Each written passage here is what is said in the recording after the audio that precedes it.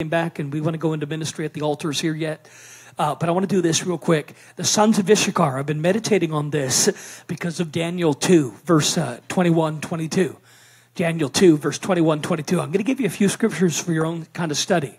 But I want to just point out a couple of things about the sons of Issachar and a couple of key practical points that might help you discern and recognize your, your season. Like, am I in a winter season, spring season, fall season, summer season? Does God even speak in those terms, right? And how can we make the change in our season as far as a decision you and me make intentionally can accelerate you and propel you into what's next? You could actually be ready for the season but miss the door because you don't know how to make the decision to propel yourself forward into what God has already opened. A lot of Christians stay stuck because they don't discern or know how to partner with what God is saying about the invitation into their next season. 40 days can be 40 years around the same mountain. How you respond to seasons, hardships, trials can determine 40 days or 40 years. So there is something about you and me in the process. There's something about divine time, Kairos time, Rhema time, such a time as this but then there's this ability to discern and understand what the times and seasons are, the need for the seers. And the tribe that was the most, you know, important tribe for seeing was what they called the tribe of the sons of Issachar. One of the smallest, really. And, and there's a lot of things about understanding the history of the, the sons of Issachar that kind of would make me go, I don't want to be of the tribe of the sons of Issachar because they were 10, you know, slaves and worked for wages and the ones that kind of were on staff and worked for everybody else really hard. You know, it, it, that's kind of who they were. They worked for wages. They were like on hire, and they were burden bearers. There's a lot of things about the tribe of the sons of Issachar that was not glorious. The, the picture of the whole idea of the tribe of the sons of Issachar was of a donkey, an ass, couching down, crouching between two mountains, bearing burdens. That, that's the picture, prophetic Hebrew picture of the sons of the tribes of Issachar was the ones that would have to burden bear, work hard for hire, work hard for wages, and, and crouch down like a donkey, like an ass, and put their shoulder between two mountains. It wasn't glorious at all. They were called the burden bearers. And, and they were everybody else's servants and slaves but yet they could see and understood times and seasons and knew what Israel was to do, when they should do it, and how to do it. They knew the plans. And they were called seers. They were a tribe of seers. And if you didn't know this, quite often when you talk about Issachar, you have to talk about Zebulun and Judah. Because the way that God had the camps and the tribes, they, they would tend to camp out together. And, and one of the tribes you see moving with Issachar was Judah first, behind the cloud. So the idea that when Israel went to war or in the wilderness and the cloud by day, fire by night, after the cloud of glory was always Judah first. After Judah, you would see the, the Issachar and you would see the Zebulun. And there's reasons it's Judah, Zebulun, and Issachar. And when they would camp, they would camp out according to these different tribes. And it was always a connection there with Zebulun and, and Judah and the sons of Issachar. And of course, Judah means praise, but in, in many ways, we've misinterpreted the meaning of Judah. Praise first, Judah first. It's not because it's praise, because really the word Judah means to be praised. So the idea of Judah and the lion of the tribe of Judah is not so much about because they went out as singers and worship, that's where the breakthrough comes, praise. It's a wrong interpretation. Judah means warlike, the character and the nature of the one that's the lion bold, without fear, courageous. It's so much more about the character and the nature of the one that's the lion that goes out to get its prey. That's why Judah first. The word interpreted is not praise because they're just praisers. Not that there's not breakthrough in praise, but you need to understand Judah in, in its anointing. When you hear about the sons, the anointing of the tribe of Judah, the word means to be praised. They were praised because they were like lions that would go out and get its prey. So it's a much more predatory, like I'm going to hunt like the lioness. And I'm bold and I'm courageous. The, the traits of the nature of God revealed in the lion, the lion of the tribe. So it goes beyond singing and music and instruments. We've always interpreted it as praise, but it literally means the triumph that comes from praise. It's a warfare term, so it's much more than just singing. And after that, you'd see this Issachar and then Zebulun. Let me say this about Zebulun. I don't have time to preach. Zebulun is the tribe of wealth and money. Resource, wealth, and money is with the uh, Zebulun. And the tribes of Issachar, if we get into the whole thing, came from those you know tribes with Jacob, with Leah, and then the twelve blessings spoken over the the twelve sons of Jacob. When the blessing was spoken over Issachar, I'm just going to share a couple of things here uh, about the anointing. Uh, that's important for you to understand the seer activation you're going to get today, because God's highlighting First Chronicles 12:32. First Chronicles 12:32, just one of the scriptures here uh, that many of us know about from Issachar, men who understood times and knew what Israel should do. Not only did they understand times and seasons, they knew what we should do. The blueprint, the pattern, what to do. So you got unfulfilled kingdom visions and dreams. You don't just need more uh, understanding of those. You need to know what to do. What to do in your life, in your ministry, in your business, what to do. So that's part of the anointing of the sons of Issachar that we're going to release today is so that you know what to do. How many of you know that a lot of your unfulfilled kingdom visions and dreams, what to do? So I can make the shift and make the transition. So the sons of Issachar were men who understood the times, they had knowledge of what Israel should do, they had foresight, they understood exactly what time it was. It was time for David to take the throne. Usually it's a governmental thing. The sons of Issachar tend to establish uh, the governmental uh, anointing, even if that's going to be with kings or, or, or people in, in government, in marketplace. They knew that it was time for David to take the throne and it was time to establish the kingdom of God. So the tribe of Issachar, this tribe, understood the time and they could even interpret the word of God in the proper time. They were connected to Zebulun, the wealth tribe, because provision for the journey and the supply for the victory were important. So God took quite often the seers and connected them with wealth and resource and money. God would take the gift, seers, and connect them with those that had resource and wealth and money, Zebulun. And they would connect in with Judah because they were the first behind the cloud. And you got to have the atmosphere, the cloud, the glory, the praise, so that you can be a seer. But then the seer's got to be connected into the money, the resource, and the wealth. So, how many are ready for the impartation of the, the seer? But it's a releasing and a prophetic promise of, of the wealth that's connected into the provision for the victory, hand in hand. Because what's good, you know, seers, and they dreams and visions, revelation, dreams and vision, we, strategies, and we know what the enemy and but you don't have any provision. So many of the seers, like Levites, their inheritance was just a 10% of everything that everybody else had. Well, the Issachar, they were the ones that had to work for wages. They were like the servants. They were like the slaves in which you could go and get revelation and understanding and they could, you know, really tell you, you know, times, seasons, but yet they weren't financially as blessed as all the other tribes. How many of you know how valuable seers are? So just kind of giving you some of this stuff quickly. I just don't have enough time to preach the whole thing the way I'd like to, but most Christians don't know that God has his own calendar. God's timetable is clearly revealed in the Bible.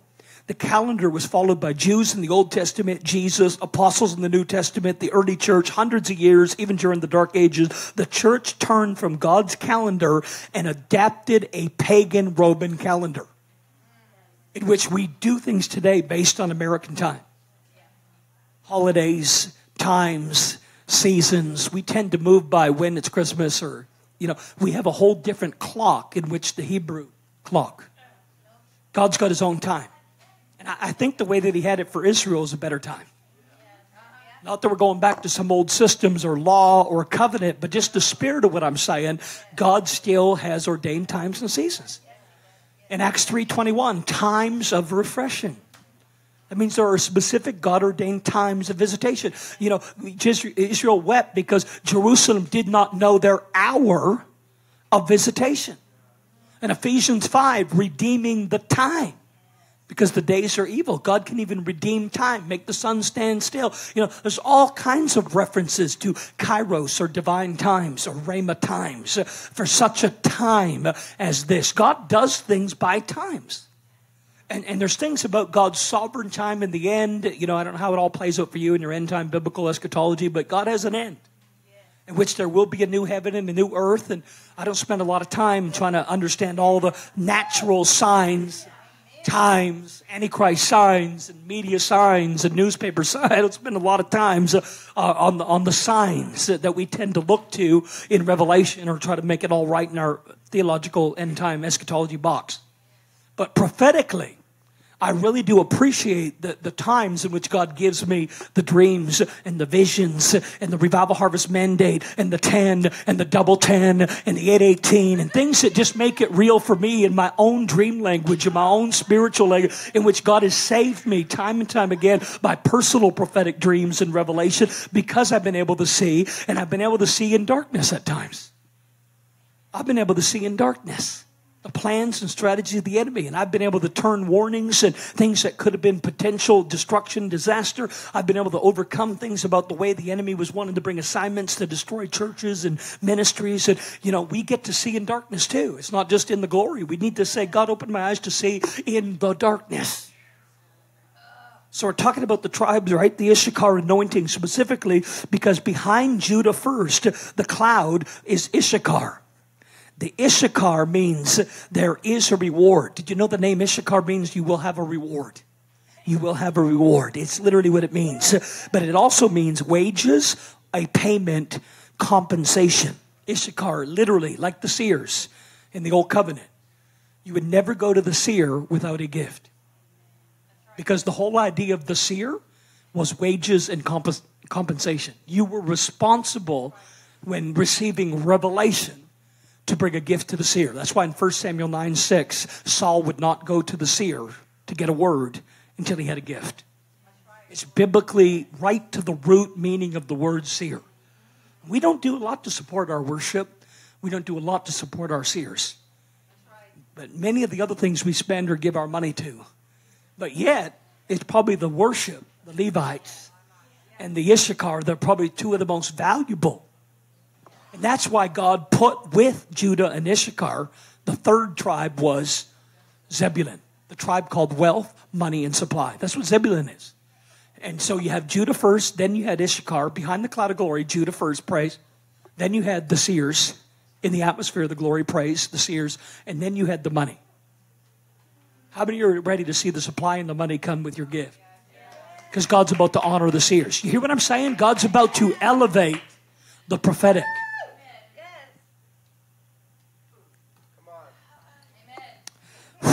I don't have time to get into the whole thing, but hallelujah.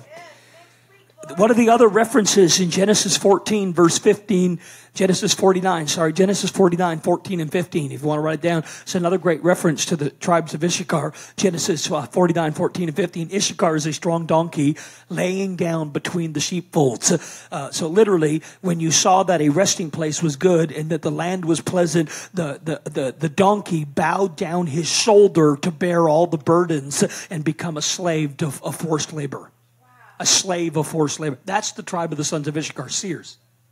They're burden bearers. Because sometimes when you're a seer and you're, in your understanding times, seasons, visions, you also have to be prepared to get in the trenches and to work it out. To work out that unfulfilled dream and vision. And sometimes it is a burden to bear when you're a seer. Some of what you're being trusted to see and share. But then the responsibility that you have to bear the weight and the burden.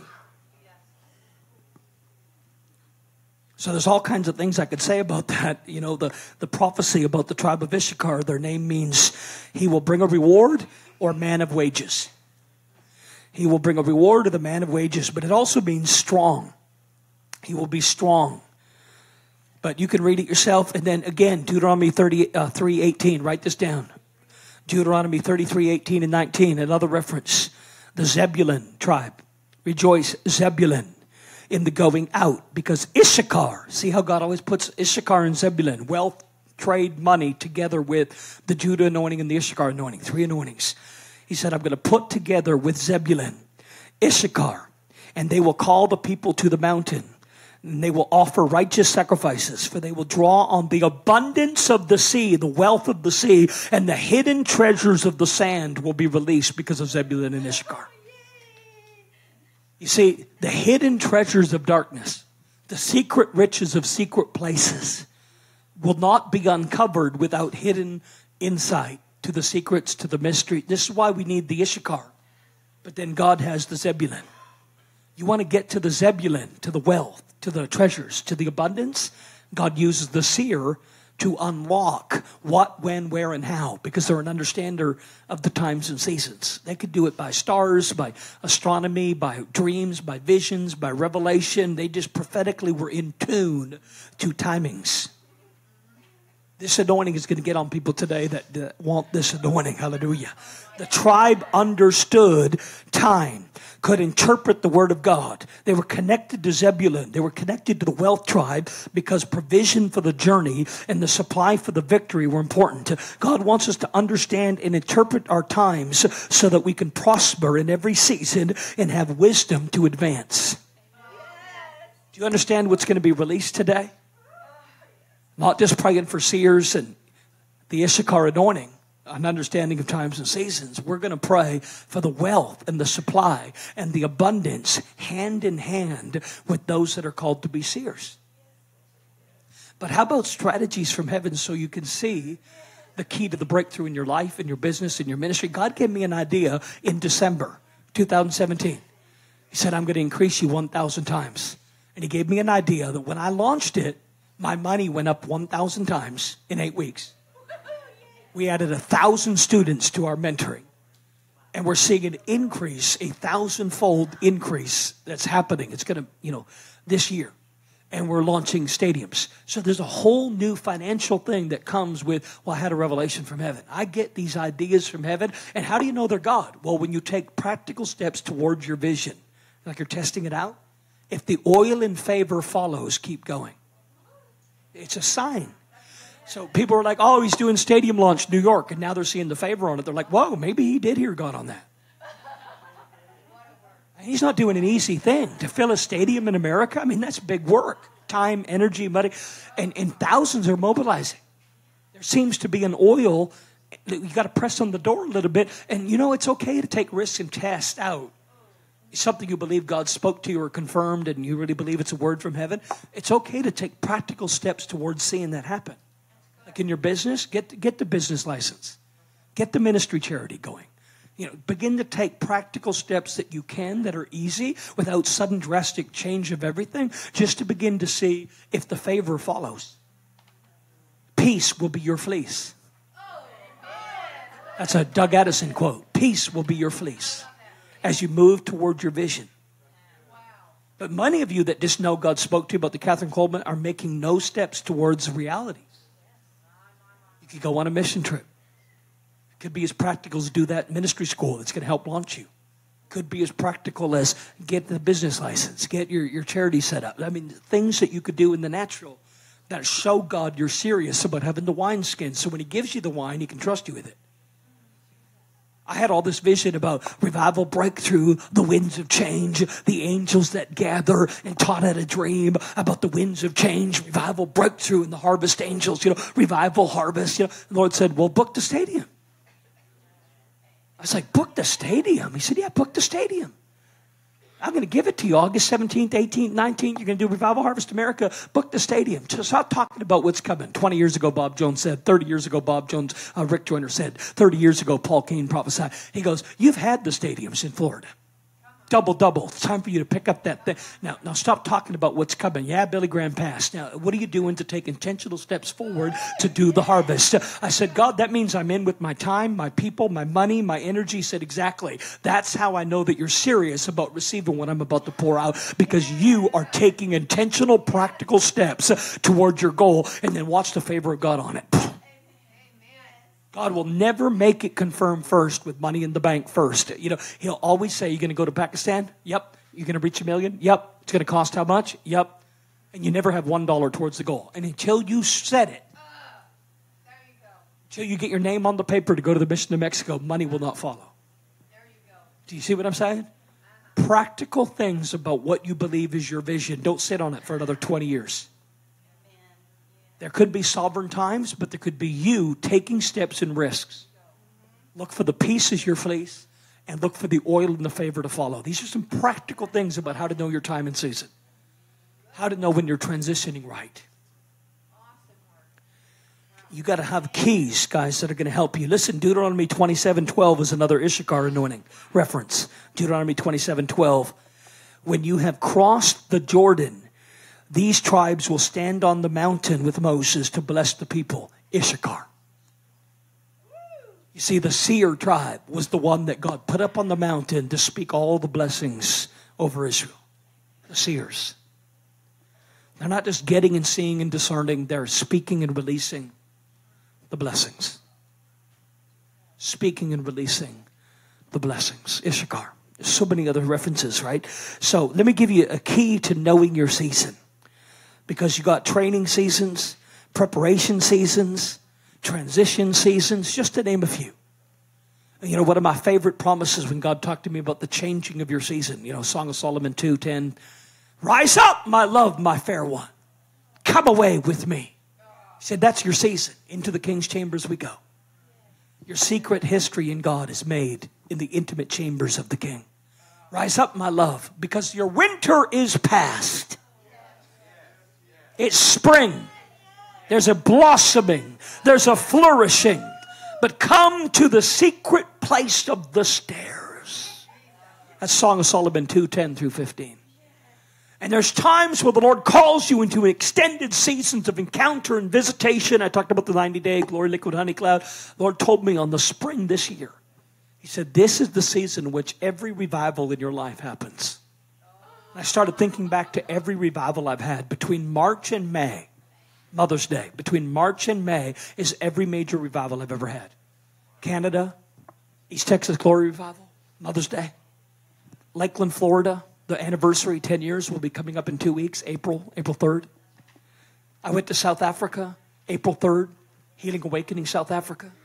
I went to Korea, uh, Move of God, Glory Liquid Honey Cloud, March 2018, Mother's Day visitation, launched my ministry 20 years ago. Every major revival I've had that I could name broke out between March and May. It's my spiritual season of encounter and visitation. I really believe when the glory fell on me just a couple of days ago, 322, he said, We're coming into the beginning of spring.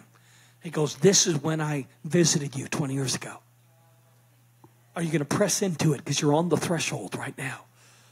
Of, of those that are hungry and you just kind of feel the restless, like God's going to come, a new season of visitation and glory, and He's going to prepare me for something. You know what happens after preparation, right? Esther made herself ready. After a season of preparation comes Joshua 5, the commander of the army of the Lord, and He commissions you. Because many are called, but few are chosen. If you don't have the burning bush, the upper room, the Pentecost, and you know, if you don't have the Joshua, the commander of the army of the Lord, you can be called. Many are called, but until you're commissioned, and you know, extended times in His presence, preparation, is preparation for your new mission and mandate. Quite often, your mission and mandate is preceded by a season of encounter in which God makes you ready. But if you've ever been in seasons of training, you've ever been in seasons of preparation, you've ever been in seasons of, of, of birthing, and you always kind of feel like you're there. You're always birthing, waiting, transitioning, birthing, waiting, transitioning. Some of you need to know how to make the shift. Because you're not, the 40 day journey is becoming 40 years because you didn't know how to shift in. You're still talking about, well, I'm getting ready, I'm training, preparation, I'm in transition. You kind of feel stuck. Because some of you don't understand the permission principle. The permission principle. You got the permission to take intentional steps to move forward, take risks. Peace will be your fleece. See if the oil and the favor follows. Okay, I can say a whole lot of things about that, but you need to understand that quite often, after every great season of the word of the Lord came onto me, I went to the king and said, God puts you off like the prophet Elijah by yourself at the brook, Cherith, in total silence, where the ravens are bringing you meat and you're drinking from the water the great prophet. You just went to the king, gave the biggest prophecy you've ever given. No dew or rain on the earth these years except at my word. You're in the presence of the king, telling Ahab. And now you're like at some brook, isolated, quiet. Where are you, God? Elijah was there often, wasn't he? After the Mount Carmel victory, he's in the cave, discouraged, disappointed, alone. God wasn't in the earthquakes or storms, the still small voice. Here's Elijah in the cave again at the brook Cherith again by himself. After the greatest victories and prophetic words and platform and to the kings. You know what that's called in your process? It's this death in which we die again because you die to your ambitions. You die to your need to be needed. Until you die to your need to be needed until you die to your need to have platform and opportunity and ministry, until your selfish ambitions die. God puts you alone at the brook. And all you got are the ravens, the meat, and the water. You're in silence, you're in isolation. Even the prophet Elijah, twice in a place of silence and isolation and dying. Am I alone left? Are there no other prophets but me? That's the process in which every prophetic person, especially, even after I'm, I'm, prophesying to kings, I'm on Mount Carmel calling the fire down, and, and I'm out in the Pakistan, and you know revivals and stadiums, and you know, and then I'm alone and I'm isolated. I'm in this little apartment and nobody's talking, and I'm, I'm bored. And then God begins to go, Do you love me enough that you love me more than all that glory in public and ministry? Can you die to that? Because until you die to that, you can never really be ready until you can love Jesus enough for who Jesus is and not what he does through you in ministry. It's a hard thing for our team and culture and tribe because so much of what we preach is about getting out there in your ministry and get your gifts and anointings and man. And so much about what we do is commissioning people. But I have found myself in that wilderness, quiet, secret, isolated, down by the brook. What do you do when the brook runs dry? How does the great prophet Elijah end up in these processes again and again? Where he goes from saying to the king, access to bring a word to the king. And then he finds himself in the caves after Mount Carmel and brings the fire. And he's in the cave. I want to die. I'm disappointed. There's only me left. It's this cycle in which we, there's, there's really these things that happen before transition in your life. One, ministry doors seem to close is how you know you're about to go into transition. All your doors close. You find yourself isolated from ministry, friends, and family. Even your desire for ministry fades. But then you enter into a face to face encounter with God, into an extended time in His presence, and you have visitation. And God begins to prepare you again for the next mission and the next mandate that comes out of the intimate place of His presence as your secret history in God is made in the chambers. And there's this continual, doesn't matter how many years it is that you do life and preach and ministry, is you will find yourself again and again in seasons where it seems as if every door just kind of closes suddenly. Things begin to dry up. And you find yourself quiet and withdrawn. Even in the midst of all your busyness. And you're like, man, I'm being called away again into a place of silence and isolation because I'm about to be prepared. I'm going through that process again of transition preparation because God's going to have me in this face to face season. The glory cloud's coming. And I'm going to make I'm going to make myself ready. But you know what comes after that? After the face to face? Is God sends you out again and you come back in, in power and you come back with the clarity of the vision. You come back with the mission. It's like when Moses went up to the mountain for 40 days, he came back with the revelation.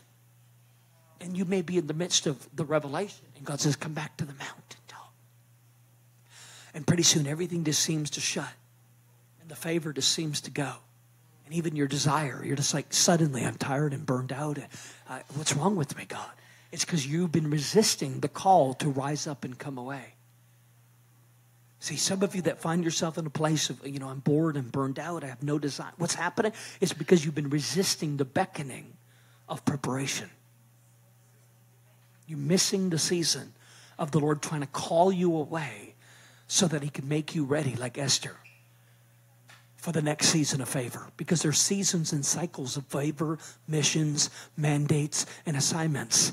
And I may have things that God gave me 20 years ago, the Glory Liquid Honey Cloud, but there's things that I need to get now in the extended times in His presence, whether that goes on for days, weeks, or months. There's a continuous cycle in which you will victory and die, victory, isolation, and die. You're at the brook by yourself because God is trying to bring you into the encounter in which will sustain you in power for mandate.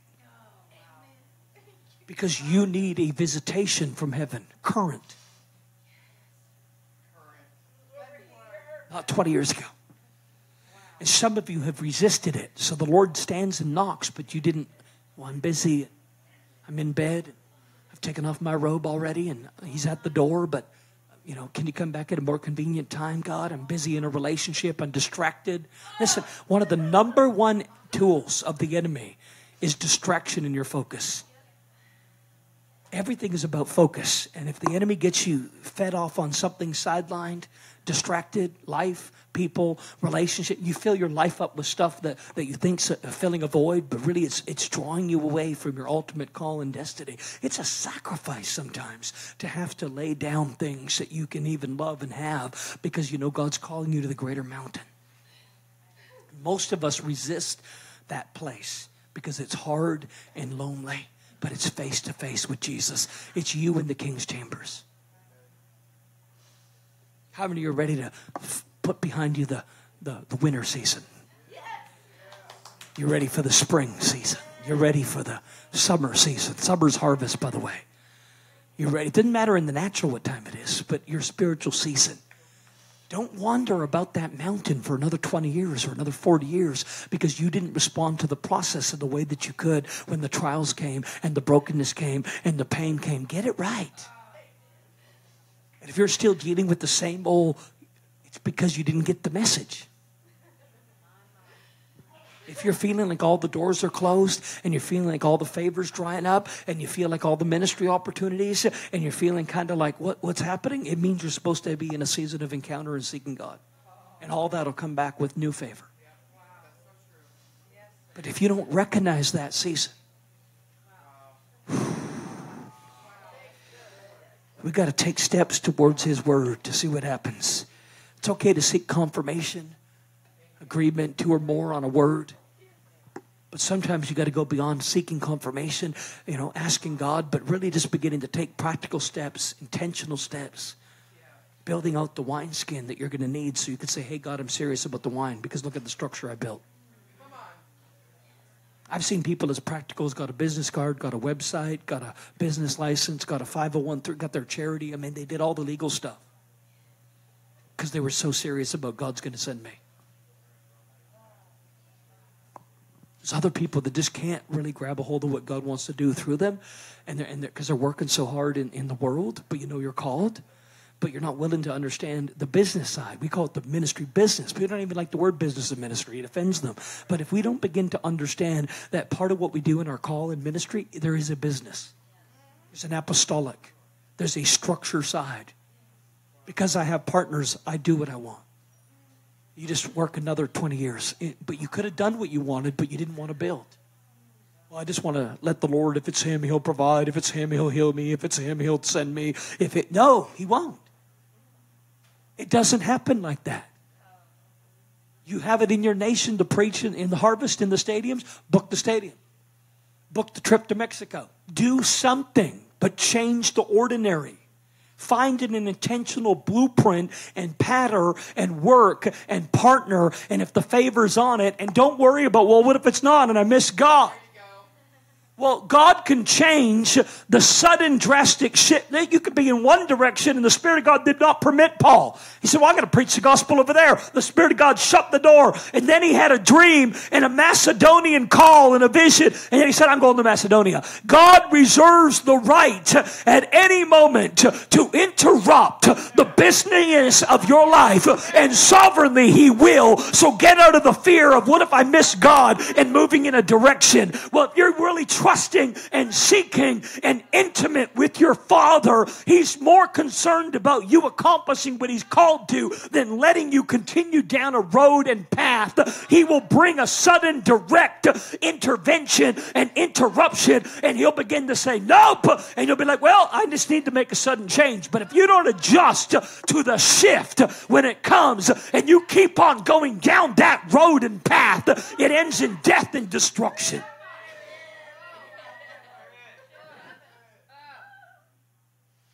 Just go ahead and do that relationship anyways. Go ahead and do that business anyways. Just go ahead and do that ministry anyway. You don't feel the oil and favor on it. Better back up and readjust. But this idea of being afraid that you're going to miss God, that's what's kept you not doing your unfulfilled vision and dream because you wouldn't get out of the boat with a small step, something. Ask God, He'll show you plans. The tribe of the sons of Issachar didn't just have an understanding of times and seasons, but what Israel should do. I know what to tell my staff to do. I know what to tell my ministry to do. I give vision. They wait for, I can problem solve. There's just things that I know what, when, where, and how. Direction that I know how to give that God can give you when you're under the anointing of the sons of the tribes of Issachar. You don't even have to have a business degree. You can have a grade nine education and no GED, and you can run a multi million dollar ministry. You know, the favor of God's not fair either. I got people calling me right now, worldwide ministries, recognize big movements calling me. How is it that you've had over a thousand people in your mentoring? How is it that your school is just exploding with all this interest? And I said, Well, I got a plan from heaven in December, and God kind of gave me this idea, and I went to my staff about it, and they were like, Well, you know. And now they're watching, and they're like, Hey, maybe there's something in there. Now you want to do stadiums? The moment I said yes to New York, booked the stadium, California said, hey, we have a stadium paid in full. Texas is mobilizing a stadium. Florida's going to mobilize a stadium. I was like, I'm now overnight the stadium guy. Getting invitations to stadiums. Overnight. 10 years, it's a timing thing, but I took risks. I took steps. I worked, and the oil and the favor is coming, and there's still work to do. But if you don't start moving towards a goal, you can talk about it. You hear Kathryn Kuhlman anointing, don't even pray for the sick. I had this guy in my church for a long time back in Canada. He used to say, Man, I've studied deliverance for 20 years. I've learned the best. Everything about casting out demons. I said, Well, when are you going to do it? He goes, Brother, don't push me. I've been getting ready.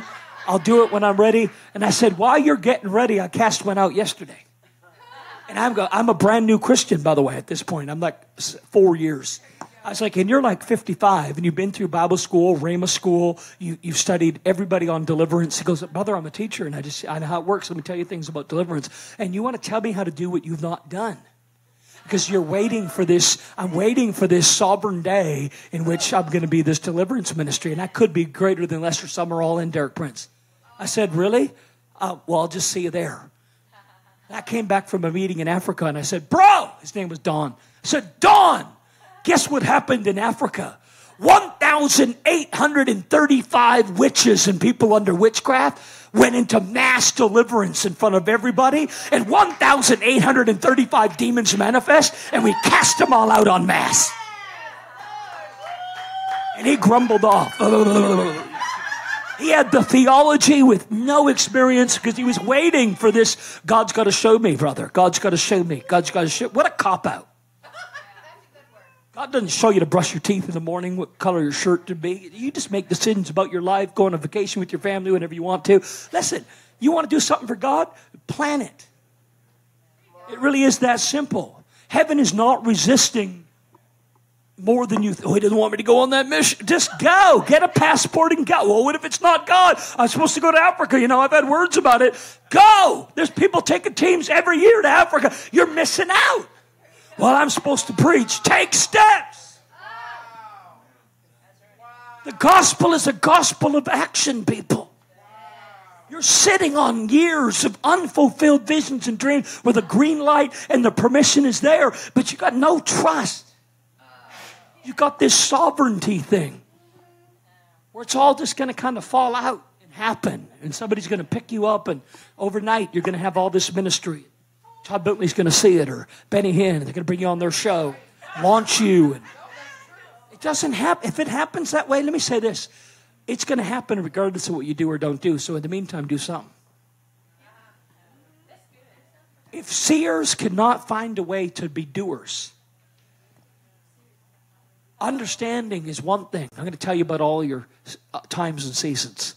But now I'm going to show you what to do, what Israel should do. There's an actual practical application to the sons of Issachar. That's why God said, I'm going to put them with Zebulun because I'm going to connect them with wealth and money and resource. Because your vision and your dream, even what you see, has to be connected to money to be reality. Most seers I know aren't in the ministry they're called to be in because they're too busy working, paying bills, distracted. Because God's never connected you to Zebulun. How many of you are ready to receive today the threefold Judah, Issachar, Zebulun, the anointings? Judah first, then Issachar, then I wish I had time to go through all my notes, guys. I was just touching the surface. I wrote this till four in the morning. I want to pray for everybody today that really wants to have this. Lord, let scales come off our eyes. I feel like there's been an attack on our, our vision. I talked about that Thursday night. Thursday night I was here and I talked about an attack on our vision. And I, I talked about the natural, the spiritual. More often than not, when somebody gets healed in the natural, like blindness, there's something in the spirit eyes to see, ears to hear, right? Deaf and dumb spirit. It's a spiritual, it's a natural. And so I came in here Thursday night and kind of got really real and transparent about my eyes, having to go to the doctor on Tuesday this week. And, and the doctor is testing my eyes Tuesday because they think I have a genetic inherited eye disease that I've never known, that I've never known I've had, that I've never known I've had. And I would have not even caught it if I didn't go in because I, I noticed my one eye wasn't seeing like my one eye. My one eye is 2020. But I went in because I thought, man, my right eye in the last year has just kind of dropped quite a bit in vision. You know, simple. You know, maybe I need some reading glasses. I wasn't thinking much about it. So I was getting an eye exam, and um, the doctor said, man, we, we, you know, your eyes are great in the sense of you got a 20/20, but this eye here has lost 30, 40% of its vision. And I looked at your retina, and both your retinas are inflamed from the back. And it's not connected to any other condition or disease or diabetes or anything, you know. He said, You have a rare disease of your eyes that could end up in legal blindness or total blindness. And there's no cure for it. And I'm sitting there going, Excuse me? I just came in for an eye exam, and you're now telling me that I have a condition that sometimes teenagers have, and they end up blind suddenly by the time they're 42, 43, 44. They just go blind because they have this rare disease uh, that can be an atrophy of the, the retina, incurable. And I was like, You're telling me right now on Thursday, this just happened to me. And I knew I was having some issues with my eye, and driving at night was becoming more of a challenge. And so I kind of went in and thought, I'm going to be a good steward and, you know, watch my eyes and get my glasses maybe. And they said, Sir, this seems to be a serious condition. So Tuesday, I got to go to a retina specialist to see what disease I have, which I'm claiming will be gone and I don't have. So don't, don't, I'm just telling you the facts, but I'm not going to agree.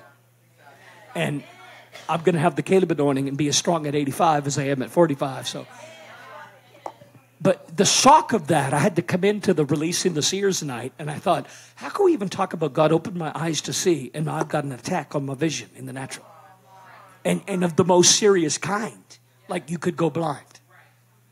It's not even an eye problem. It's just I went overnight. I learned I could go blind, and I thought, what? What? He go, incurable.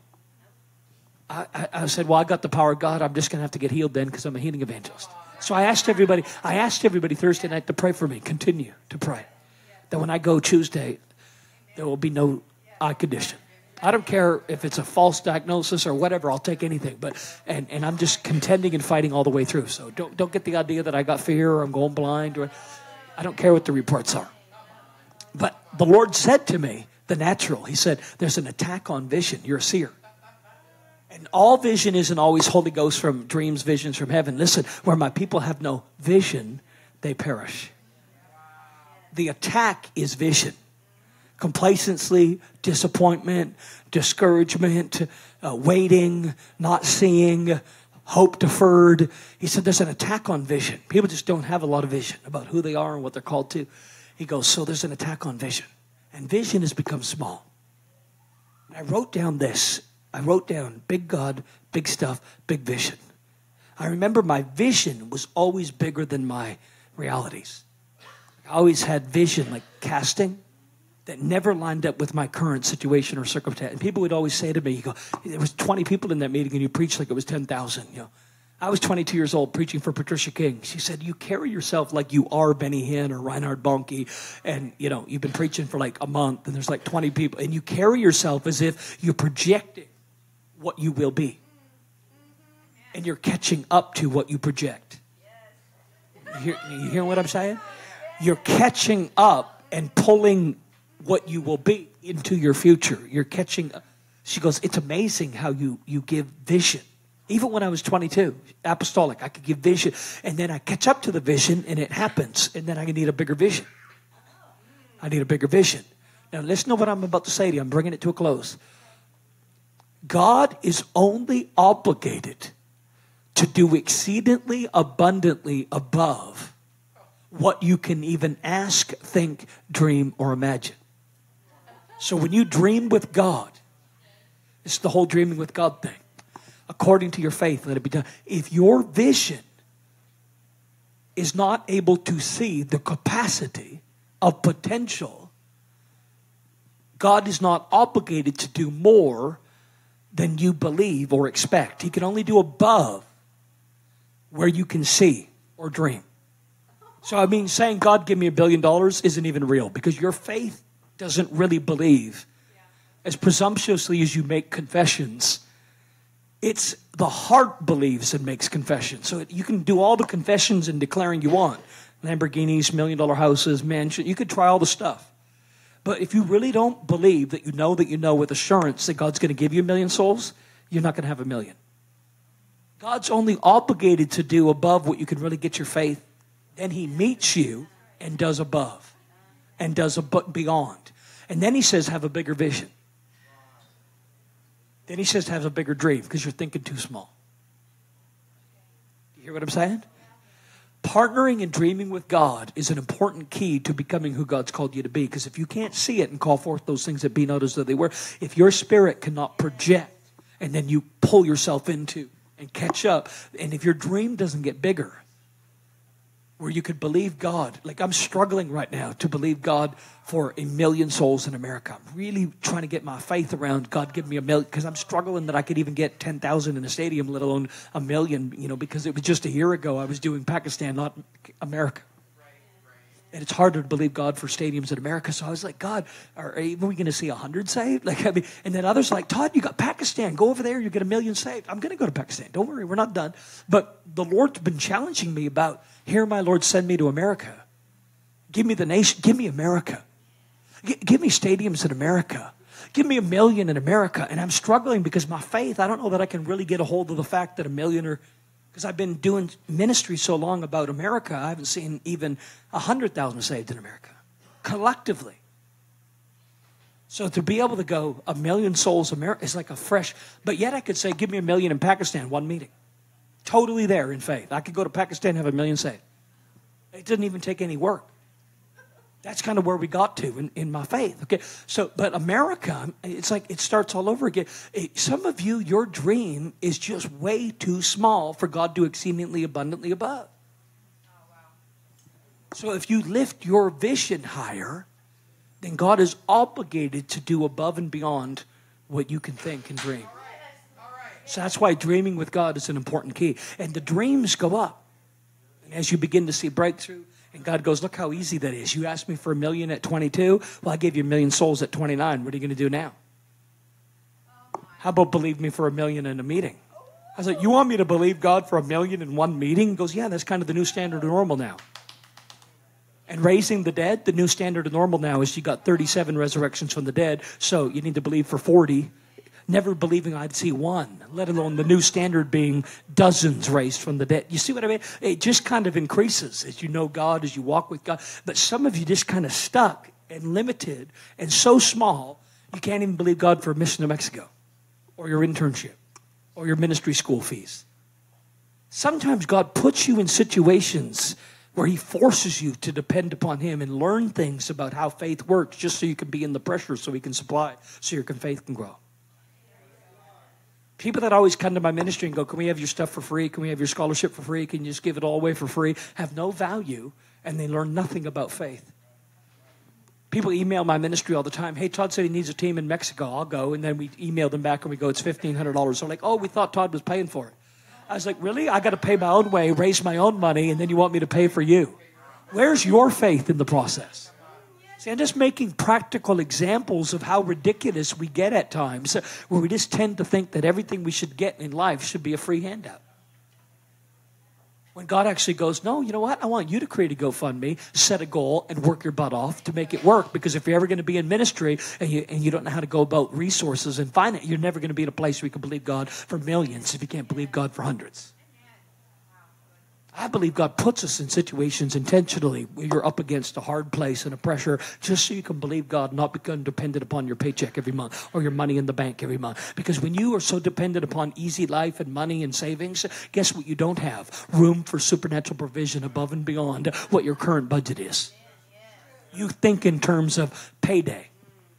You think in terms of saving. You think in terms of investments. You think in terms of your portfolio. Not that those things are wrong, but you know what you don't depend upon God for? The ravens to bring you meat, the goldfish to give you two gold coins, God to provide out of nowhere a million dollars because you're so dependent upon the house and the inheritance and the say. Listen, those things are great within themselves, but they, they take away, in America especially, the need to have to be dependent upon God and be desperate to see God move like in Africa or in India, where it's either I get healed or die. We don't have Obamacare or Medicare or any care. We, we are blessed, and in our blessing, we become without needing God supernaturally. Learning to have both is key. How to believe and call in the supernatural things, even when you have need of nothing. You know what the Lord told me one time? He said, Do you have need of money right now? And I said, No, I'm doing pretty good. He goes, But when you're broke, you fast and you, man, you, you scream and you jump up and down. And he goes, So what if you didn't have all that money, you know, in the bank? Which I'm talking about the past. Don't get the idea that I'm sitting on all this money. But you know what the Lord said to me? You know what the Lord said to me, though? He said this to me. He goes, I'm glad that you have all that money. Glad you got that 20,000 in your sock drawer or whatever it was back then. You know what he said? He goes, but what I don't like is you don't pray for provision the way that you did when you didn't have that money.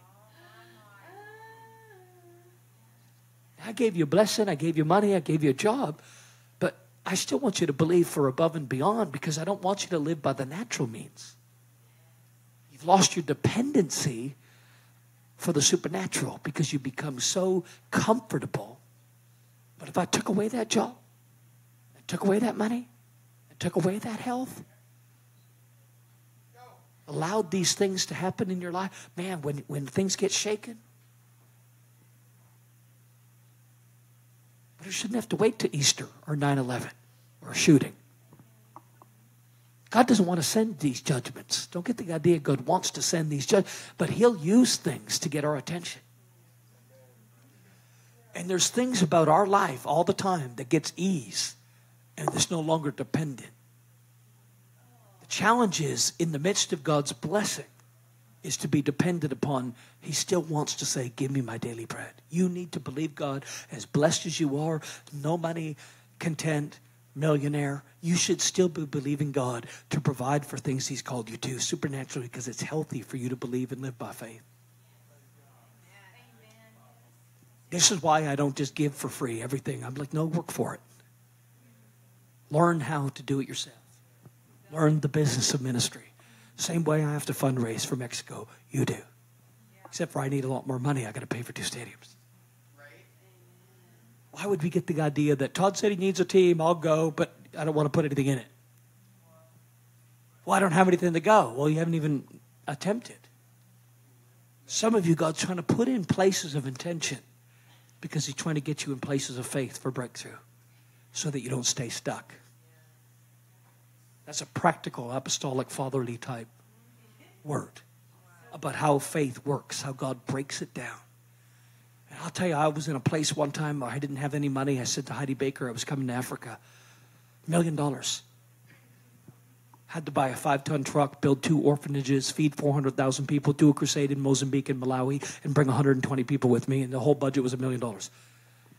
And I was supposed to make the commitment the next day, and I didn't have $4,000. And I thought, I don't want to turn down an opportunity to work with Iris Ministries and go to Africa and do all the great stuff we're going to do. So I don't have any money, God. And he said, No, but I do. And I said, Well, God, what, what good is the money that you have that I don't? And I took an offering, and I remember the offering was so disappointing. It was like 2000. I was like trying to get a million, you know. The offering was pretty, and I gave it away. Don Potter, Bobby Conner, somebody was preaching for me. And I said, Well, I'm broke, and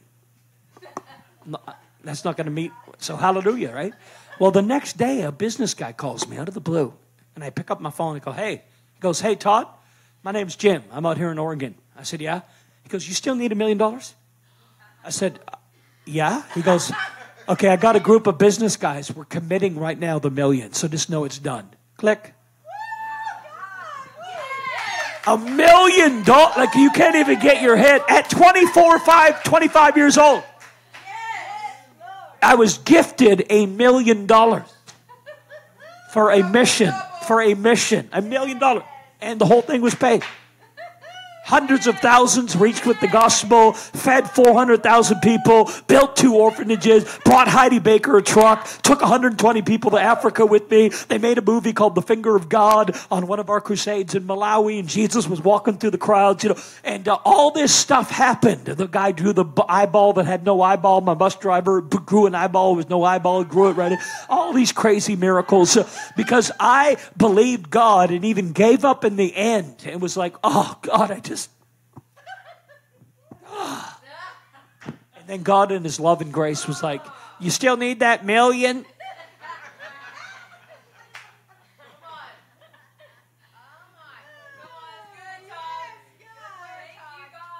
What do you believe in God for? What's the limitation? We're going to pray over people today, the seer gift. I'm going to pray at the altars. Here's one thing I'm going to do right now before I pray for anybody because I believe it's right to do it. I'm going to do it. And I don't usually do this myself, but most of my team and staff were like, hey, Todd, we're, we're out. We're, we're sick or burned out or tired and don't have anything else. Darren's been in bed for a week. Pray for him. Wes is battling. He said, pray for me. I got a birthday party today for Paris. She's three. I feel great. but it's left me in this place. It's left me in the place as we finish the event here uh, that I, am going to receive an offering. But this offering is for for the honorarium. For I'm taking an offering for for me. I never usually take an offering for myself. So we're going to receive an offering in just a moment for those that would like to sow. Could we give everything else.